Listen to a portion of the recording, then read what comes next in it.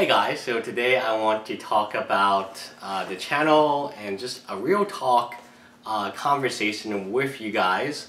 Uh, mainly because uh, I don't know if you guys this, but I have stunted my channel's growth for a while.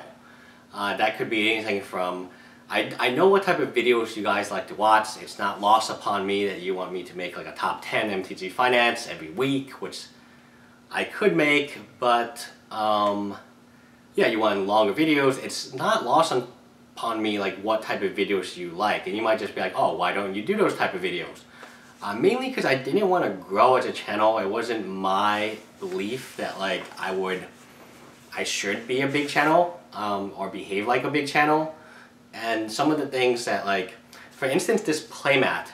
There's only one other person who has this playmat and it's Bobby because he had a really bad box. So I was like, hey, you can have a playmat. And it was like really hard for me to give that playmat away. So unlike other channels, like which, you know, they will print like limited edition runs or play multiple playmats and they will, I just didn't really want to do it. Um, I only did it because like I felt like it was fun to like work with an artist and Emma and to get a playmat like this. And you can see the playmat is, there's no MTG lion anywhere in a playmat because I didn't want it to do that. Obviously I could put a lion, which I have logo, but I was like, why would I want to like, um, uh, from my perspective, and this might be different from most people, if I'm going to FNM, I just want a playmat that looks pretty cool and that's it. I don't want to like advertise or things of that nature. And again, that's just my perspective. That's my personal feelings about it. And I didn't have ads on this channel for a very long time. In my other channel, which was in the same growth rate, much bigger than this channel, it never had a single ad, it didn't have ad revenues. And I didn't want to grow this channel because I felt like in my real life, I have a lot, a lot of friends, like lots of friends. I'm not saying this to like, say I'm, you know, to hype myself up. I'm saying it because you don't actually need that many friends in real life. So my Twitter, my real Twitter and Gutless has 10,000 people. I think my LinkedIn has 7,000 uh, connections or whatever they're called. My Facebook has been maxed out at 5,000 for at least a month and a half.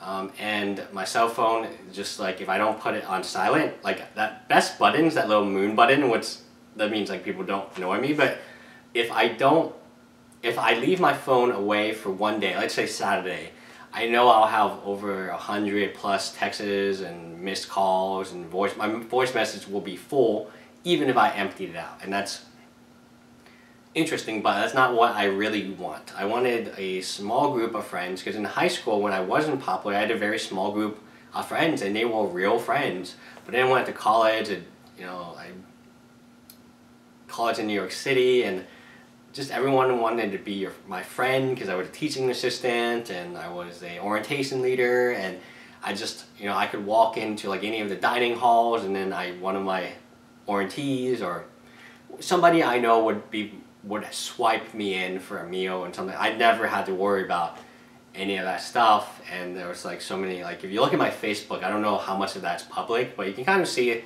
I had a good time in college and I had a really good time in grad school. I was the head of my fraternity, uh, which was great and uh, amazing. Um, I, I, again, NYU didn't have a fraternity, so the grad school I went to, I didn't really understand what it was, and it was just a fun concept in my opinion. But I have strived to keep this channel as small as possible. Uh, but right now, like I feel like the patrons, like, and it's not that I value patrons differently. It's that they're a smaller group, right?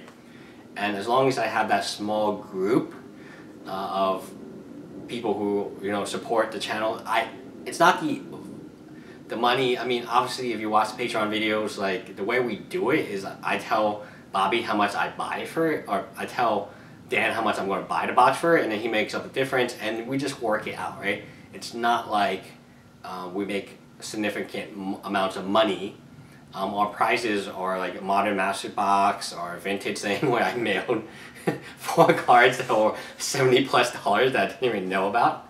Um, it's not to make money, it's just to have a small group of people to talk to um, and who post on your videos and you can respond back to them and you know who they are, they know who you are and I think that's pretty awesome. And yeah, that's what I was looking for this whole time. I wasn't looking for a big channel. I wasn't looking for like, because I have that like, and obviously you, don't know this about me, but I'm very social. Like I'm extremely social, and I, uh, I wouldn't call myself a socialite because that sounds like something like ridiculous to call yourself. But people invite me to pretty much like if you go on my Facebook, I'll maybe I'll show you my Facebook one day.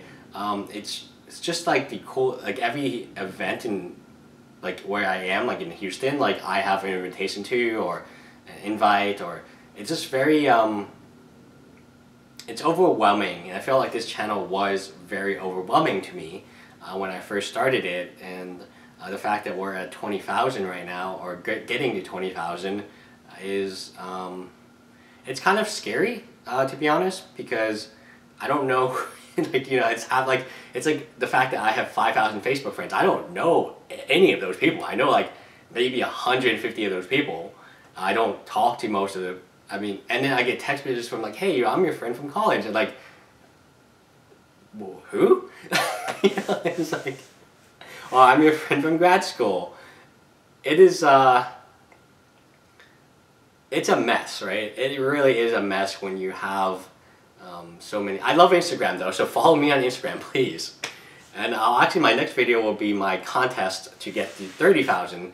I've uh, made a goal for myself. I want to get there. Um, and would mean a lot to me because I'm, you know, I'm going to actually try. Now, it's one thing if I didn't try, if I tried and didn't get there, then I would be perfectly fine with it. But I've not um, particularly tried to grow my channel and uh, you know maybe we'll get finance videos maybe we'll get more gameplays I know what type of videos you guys like to watch it's not lost upon me that like you like my finance videos you actually want me to talk about what cards you should go out and buy and trade. Uh, and that's probably some of my most popular videos and uh, spoil videos and things of that nature. But yeah um, this playmat I love it. Like it's I only have two more copies of it. I ordered three copies of it and I gave one to Bobby, and no one else has a playmat except for me and me. Um, my next playmat will be really good though. Uh, my next playmat, hopefully, fingers crossed, Emma can do it fast, is Azula. Princess Azula. So the original Fire Princess. Uh, love her to death. Anyway, bye guys.